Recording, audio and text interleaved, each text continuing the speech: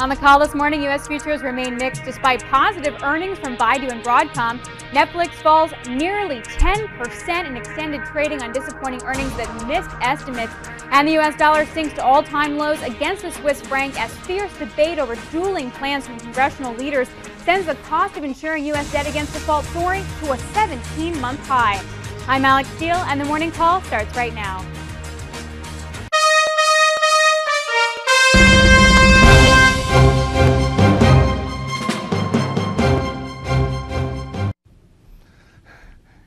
Good morning.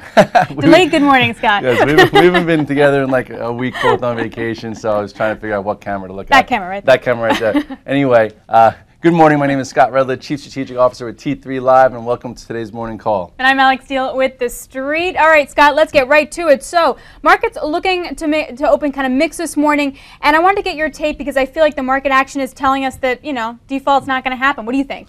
I've been trying to hold a, a portfolio of longs, Mm-hmm. the, the best acting stocks out there. They've been on my virtual trading floor, and it was a little tough yesterday because I wasn't here. And you know, you saw that uh, deal didn't happen over the weekend. We were down 10, 12 handles. So I'm like, oh my goodness, what do I have to do here? And those that stuck to their guns and added to positions got a little, a little rewarded yesterday because the market didn't fall apart. We were down, but we held in there very well. And today, even with the president's uh, big speech yesterday saying how Very fear mongering, if you will, actually. yeah, it, it- that, that really upsets me. The, the, the type of action we're seeing on Washington right now is horrendous. It's like a circus, and all they want to do is, is not breed confidence into the American people that have been trying to get more confident ever since that huge decline back in 2007.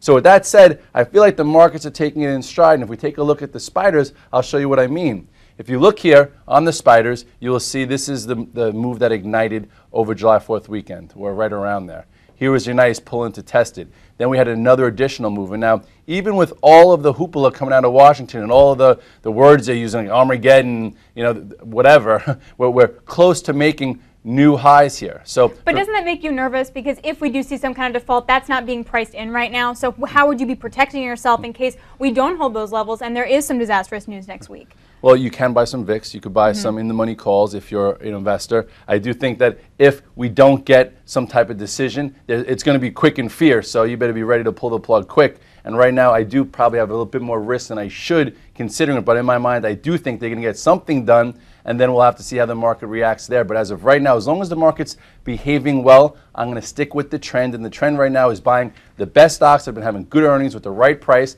And right now, with the indices, I'm long some spiders. And if we could start to see a move above this area here on the chart of about uh, what is this about 134.50 i think we got to move back to the high that we put in in july of 135 what's that high there? It is 135.70 and then we probably take out the, the highs of the year in august. Let's just get this out of the way. Let's let washington start doing you know the work of the people versus just getting their name on record on what they think will help them in the next election